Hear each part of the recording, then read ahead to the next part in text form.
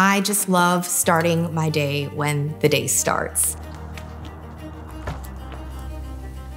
It ensures that I get all my focused energy for the day ahead of me.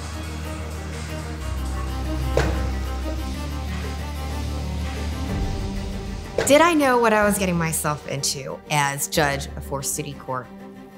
Uh, to a certain extent, yes, I did. I understood that I would be dealing with evictions. And we would be on the front lines with handling many individuals who were representing themselves. I know that evictions will always be a very sensitive topic and a very sensitive matter to deal with. So I knew that I needed to ensure that all people feel respected, they feel welcomed, and they know that they are being heard by a fair and impartial judge. So when Miss Willis, your tenant, is applying for rental assistance or looking for a new home, this eviction is not going to be on her record. Are you willing to allow for that? Overall, I just want people to feel heard and taken care of. And I make sure that I am doing everything that I can within my ability to do so to take care of those that need help.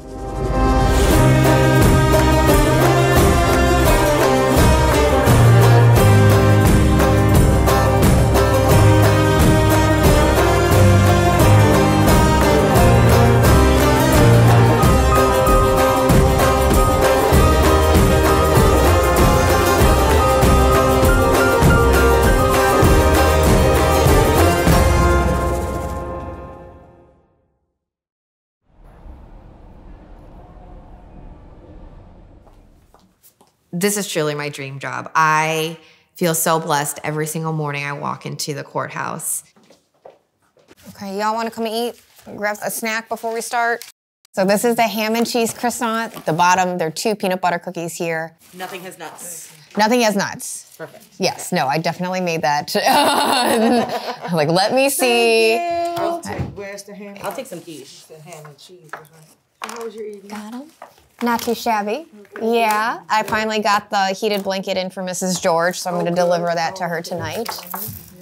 She's been crying for a heated blanket for a little bit of time, so it finally came in. Our morning meetings start our day, and we will discuss during this time what the whole docket looks like for the day. And so, how many eviction matters do we have? As of right now, we're looking at about 40 a day. Okay. Uh, we've got four settings a day at 10 a.m., 11 a.m., 1 p.m., and 2 p.m. And we're averaging about 10 per setting. Majority of the cases are for non-payment of rent? Uh, majority, and then also lots of lease violations, which, when you go down and read into them, seem to also be unpaid rent.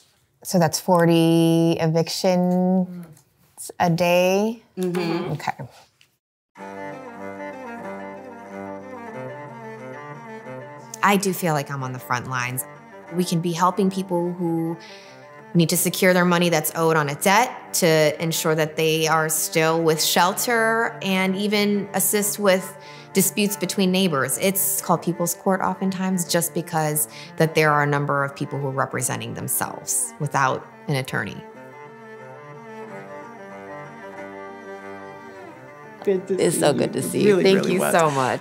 A lot of how I feel or how I conduct myself in the courtroom is because of how I saw how Judge Barial approached the bench and how she ensured that all who come before her are treated very compassionately. The Honorable Monique E. Barial is where I clerked shortly after law school. I just came from clerking for the Fourth Circuit Court of Appeals. We're dealing with people who don't have representation on major life issues. And we're talking about people's rights and their money, and it can often be quite volatile, especially when I'd say upwards of 80% of the people that appear before me don't have attorneys. And it's not because they haven't sought attorneys, but they simply can't afford it. And so I do think what you do and what I do are akin. And oftentimes, people want to know that they're being heard. They may not always agree with what I rule, but when they feel as though I at least took the time to hear them out, however long that may be, and sometimes it is quite long and lengthy, Um, but it's important that we hear what they think is important to the case, and the same is true uh, with First City Court. I can only imagine that could be extremely nerve wracking to come into court. It could be easily noted as your worst day. Nobody's coming to court for fun. And I do ensure that when people come to court, they feel like they're welcomed. They feel that they're respected and they feel like their concerns and what they're here for court are actually being heard. This is a dream position for her because she feels like she can actually make an impact in people's lives.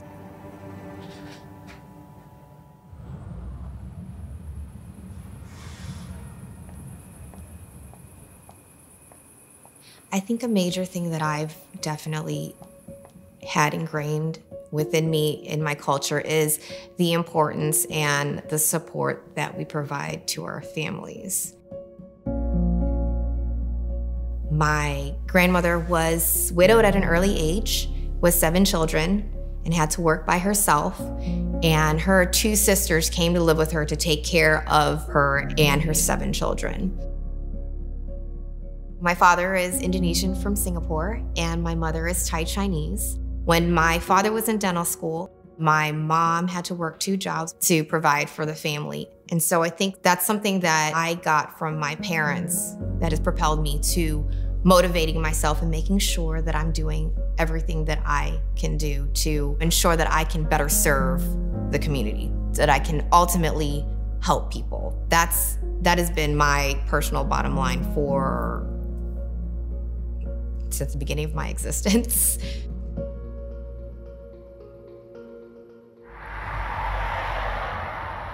So I moved from my hometown of Chicago to New Orleans to attend Loyola University New Orleans College of Law.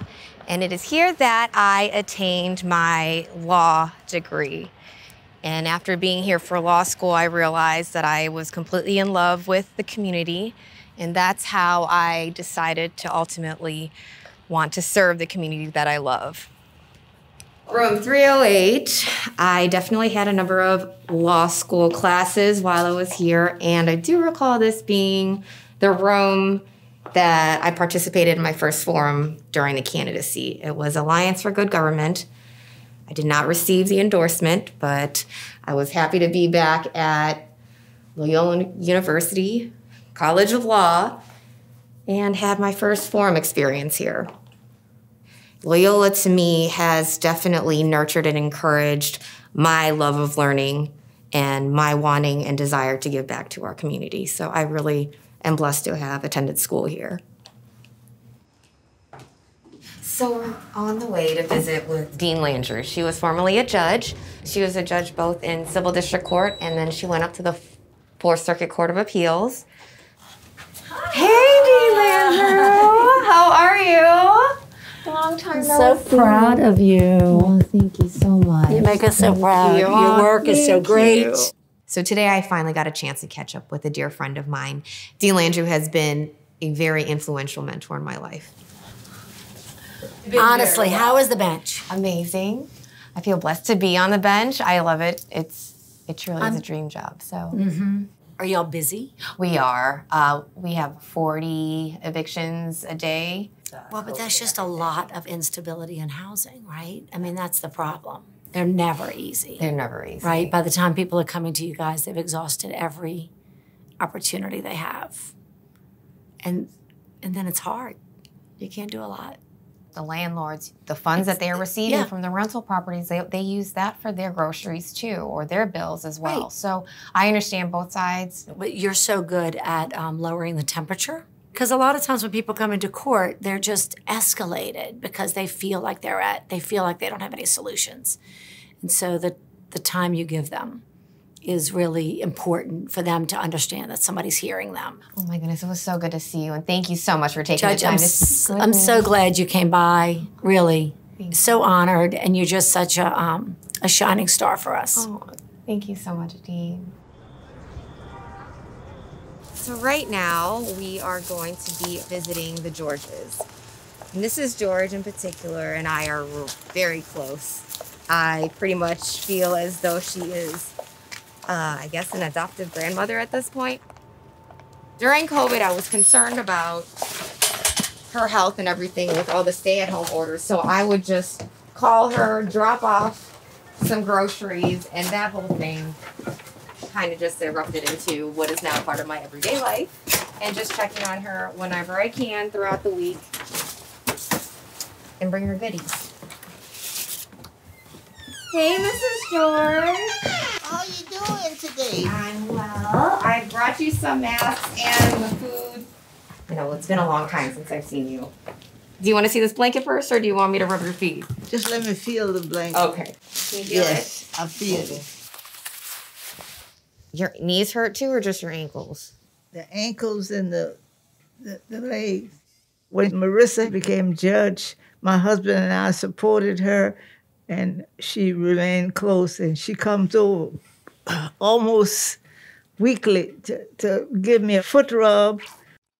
She brings me groceries, which I cannot afford. I want you to be the best judge ever. you know that. That's my prayers all day.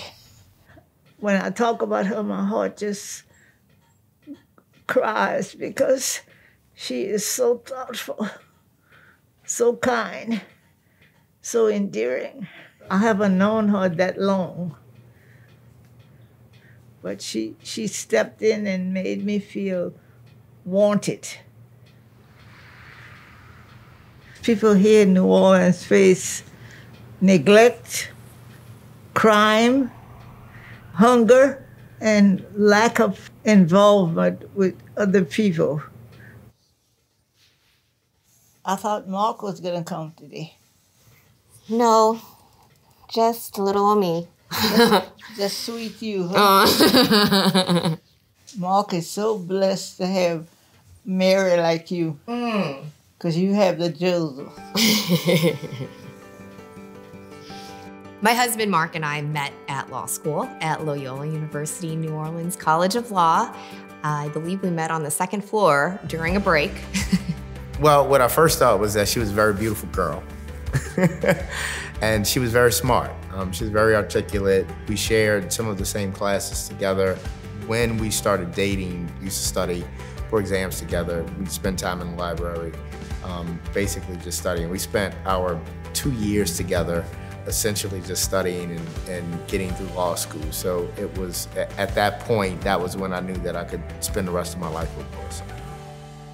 So after a long engagement, Mark and I decided to set a date for our wedding, April 4th, 2020, which was 11 years after he proposed to me. It just so happened that the judgeship that was made available, that election date was originally set for the day just before the wedding. So with the opportunity to take a stab at attaining my dream job, Mark and I decided that we would reschedule our wedding and focus all of our efforts towards the campaign. I was super excited about it. Um, we talked about it. It was something that she was passionate about. And when she ultimately made the decision to run, I was 100% in support of it because I thought that she would be a great judge. Campaigning was such an experience. It was exhausting, it was stressful. Oh, there were days when we woke up before the sun and started our day, and by the time we got home, it was close to when the sun was about to come up again. We were going to start the whole day all over again. I had a lot of long days during the campaign. It did change and affect our day to day lives. I mean, we were focused 100% on her campaign, campaigning on a day to day basis, knocking doors, reaching out to the community, um, trying to do everything and anything that we could to help her be successful in her run for office. It was fun, exciting, but also rough. So during the campaign, things still continued to change. The original election date was pushed back twice due to the pandemic. And after the first election took place, then there was a runoff between another candidate and myself. So that pushed it out even further out than what was originally scheduled for. General election is three to four months, and you know if you have a runoff, there's generally a month after. This was an eight-month campaign as a result of COVID, which became very difficult. It almost felt like it was never going to end, that my life was going to be campaigning for this position until, uh, I don't know, indefinitely at that point. I almost felt that way. And so everything was completely overwhelming. And in the back of my head, I just said, look, all this work and everything that is taking place right now the exhaustion, the being tired, the having to run around, the nervousness, and everything else is going to be completely worth it because I know that I gave it my all. And repeat after me. To the best of my ability. To the best of my ability. So help me God. So help me God. Congratulations. Thank you so much. Thank you, Judge. We are approaching Section B of First City Court, which is where I sit on the bench and where I serve the community that I love through listening to the litigants that come before the court, to ensuring that they feel heard and seen and that they are treated with respect every day. All rise. Oh yay, oh yay, oh yay. First City Court for the Parish Orleans Section B is now in session. The Honorable Marissa A. Hutabarat presiding. Order and silence is now commanded. God save this state and this honorable court. Counsel, would you please make your appearances for the record? The judiciary has a responsibility to not only stay in contact, but to stay in touch with the people we represent. And people tell me how much they appreciate that she listens, that she's respectful about how she conveys the information to them without talking down to people, without belittling anyone for their position. And that's important. Mr. Smith is being gracious and allowing for you to have extra days to make sure that you find housing and vacate as well. And that is my ruling. So ordered.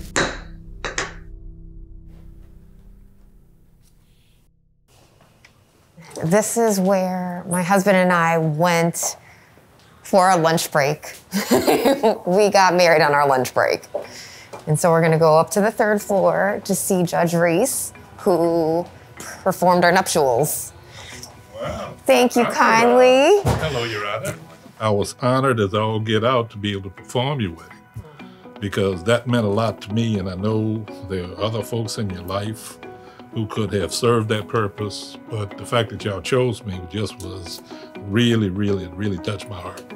And I really appreciated the opportunity to share in your joy. Mm-hmm. And you know what? Oh, come here, give me Thank you, Judge. Absolutely. Thank you. Weddings are one of the best parts of this job.